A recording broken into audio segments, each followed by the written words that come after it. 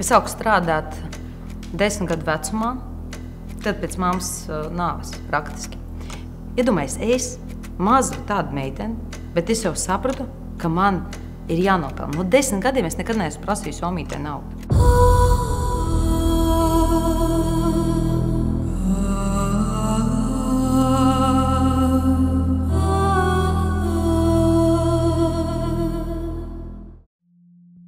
Mana bērnība sākumā bija fantastiska. Viss, ko varēja iedomāties - māma, tētis, omīte, opis. Likās, ka viss ir ideāli, viss, ko var iedomāties, ir. Bet mana bērnība izgaisa desmit gados. Mana mamma cieta autokatastrofā. Un tas ir briesmīgākais, kas varēja notikt vispār. Ne tikai manā dzīvē, es domāju, daudz cilvēku dzīvē. Kad tu zaudē savu mammu, bet tu to joprojām nevar apzināties, ka viņas nav. Uh, bet pirms tam man jau nebija teicis, viņš aizgāja jau dzīvot ar citu ģimeni. Un, uh, es vienīgi prasīju savai omei, lai viņa man neatdod bērnu namā un paņem aprūpi par mani. Viņa to izdarīja, protams, jo viņa man ļoti, ļoti mīlēja. Un, Tur sākās pats grūtākais. Jo, kad tu paliec bērni un tevi audzina nomīti, un tu saproti, ka tev vairs neviens īstenībā nevarēs palīdzēt, izņemot tevis pašu. Man tajās desmit gados bija uzreiz ātri jāuzaug un saprast, ka tu esi jau liela meitene. Tev ir kaut kas jādara, jo omīte tev nevarēs uzturēt jo viņi var nomirt jebkurā laikā. Un tu saproti, ka tu jebkurā dienā vari būt bērnamā. Visšausmīgākais bija skolas laiki, kad man ļoti apsaukāja. Ka tu esi bāreni, ka tu neesi neviena vajadzīga, ka tevi neviens nemīlēs. Kad tu neko nevari, ka tavai omītei nav naudas nopirkt to, ko tu gribi. Jo cits meitenes varēja to nopirkt, vecāki, bet es to nevarēju. Nu, man omīte nevarēja atļauties, jo viņai tad bija bērnu pabalsts tajā laikā, man liekas, 32 lati.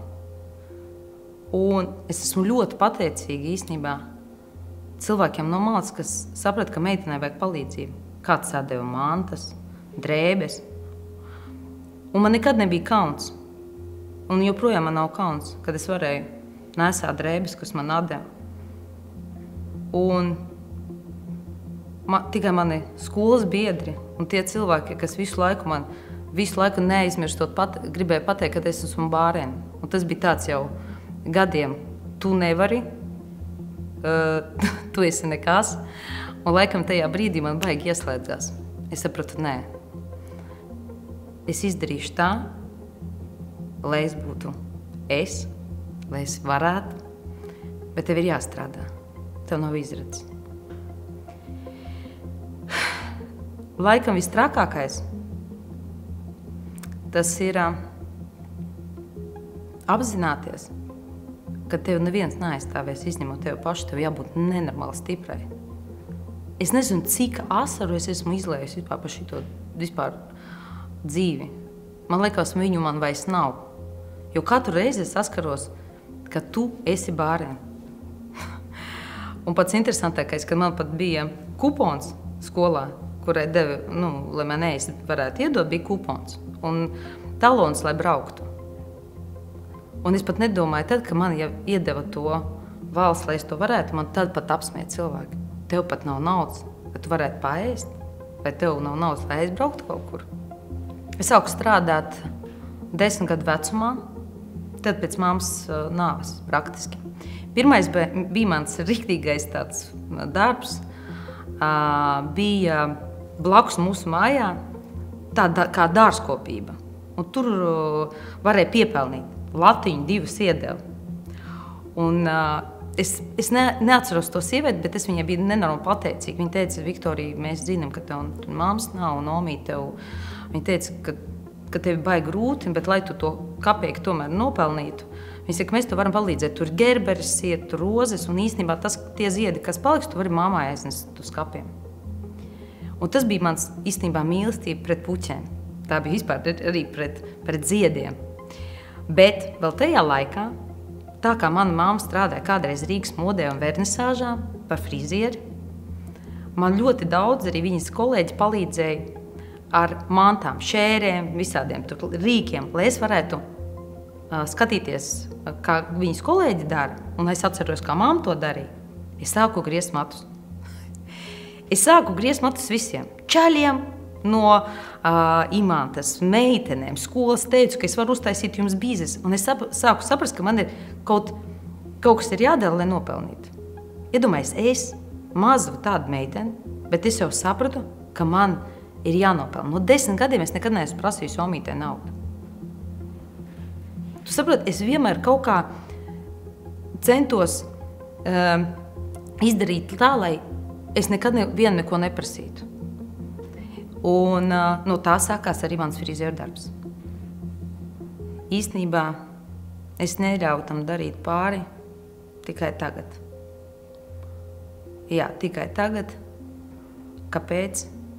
Um, jo es atbildēju uz sev uz jautājumu, kas tu, Viktorija, esi un ko tu gribi, un ka vairs neviens cilvēks, jo arī pie, lielajā dzīvē tu saskaries ar to, ka tevi kāds var nepieņemt vai arī uh, aizvaino, par, bet tagad savādāk par to, kas tu esi palicis. Un kad es visu to saliku, es teicu, viss pietiek. Vairs neviens nekad man nedarīs pāri jo tu esi pati sev. Un tas ir labākais, kas var būt. Un es to gribu arī pateikt visiem. Galvenais uzdoties savu jautājumu, kas jūs esat, un jūs tiksiet visam pāri. Jā, es nevarēju ilgi runāt par to, jo tā ir viena no īstenībā sāpīgākām tēmām. Jo mm, visu, kas man ir, es izdarīju pati ar saviem spēkiem un ar savu ticību, ka es to varu un ka es pierādīšu pati sev un citiem, ka arī bez vecākiem, bez materiālās palīdzības, tu vari būt personība. Un tu vari visu iegūt tikai ar savu vēlmi un ar savu lielo darbu.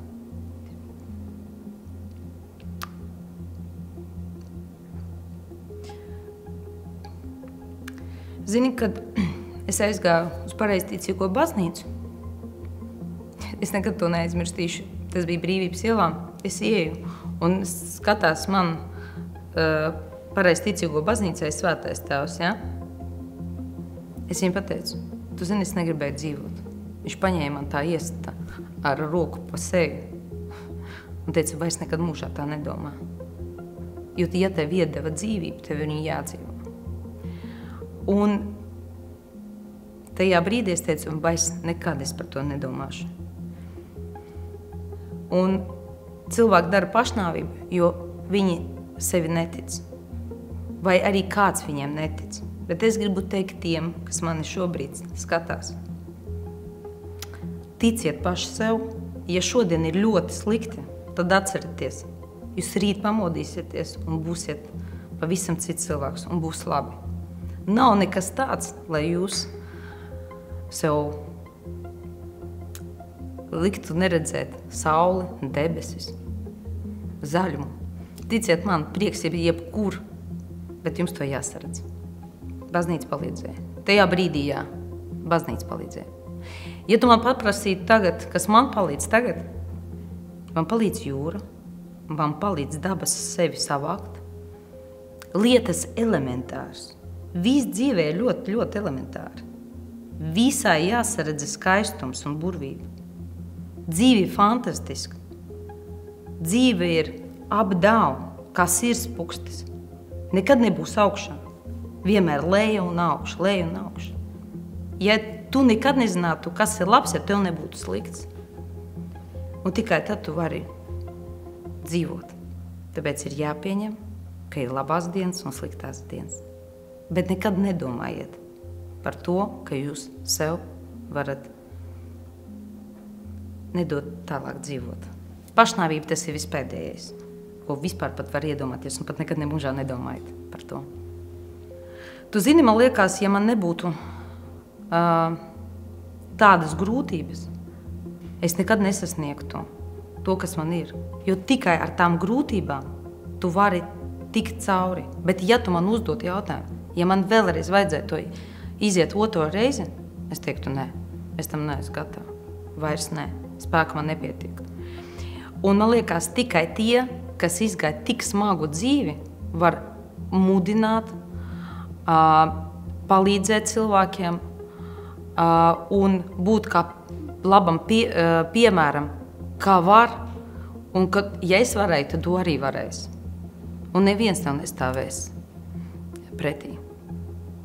Es esmu personība, es esmu sieva, es esmu mamma, es esmu uzņēmēja, es esmu cilvēks, kas nes prieku, mīlestību, skaistumu sievietēm un vīriešiem.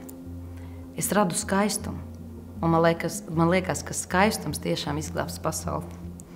Mans, laikam, lielākais tagad sapnis ir mans brands, Viktorijas, Viktorijas Palickija brands, kas būs pazīstams visā pasaulē. Rūpniecība savs, ražot skaistumu. Es tam veltīju 20 gadus, lai būtu ražošanā, lai mani produkti būtu visā pasaulē. Tas ir mans sapnis un tas ir mans mērķis, un es tam eju ar soļiem uz priekšu. Es esmu pilnībā harmonijā ar savām domām. Jo es esmu atbildējis, ko es gribu un kā es tam gribu tikt uz priekšu. Es dzīvoju katru dienu tik tagad, es nezinu, kā vulkānā, es nezinu, kā kaut kādā kurāžā, ka man pat nav laika par kaut ko nožēlēt. Es vienkārši ņemu un daru. Jo man liekas, tas ir pēdējais, ko var nožēlot. Tāpēc, ka dzīve ir tāda, ka tu vienkārši tev ir jābauda, tev nav jānožēlē ne par ko. Tas ir Zini, citreiz, kad ir, kad tu baigi daudz iedzeri, ja?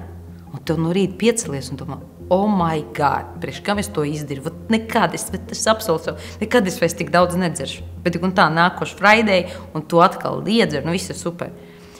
Un par to nožēlēšanu nežēlojiet, baudiet dzīvi. Un tāpat es, es katru dienu dzīvoju, lai nenožēlotu. Uz doto brīdi es tev varu viennozīmīgi pateikt, ka esmu laimīgs cilvēks. E, Zini, es Es jau nesen uzdevu savu jautājumu, kas priekš manīm ir laime. Tu neticēsi. Laime ir atvērt acis un sev pateikt, tu esi dzīvs. Tu esi vesels, tev ir veseli bērni, tev ir apkārt cilvēki, tādi paši kā tu. Kāds esi tu, tādi cilvēki ir apkārt tev. Un uh, laime ir tava iekšējā sajūta. Un man liekas, tas ir vislielākais spēks, kas tev ir. Tu pats iekšā. Tikai tad tu vari radīt un darīt. Nu, tā ir atkarīgs tikai tavs arī ārējais izskats.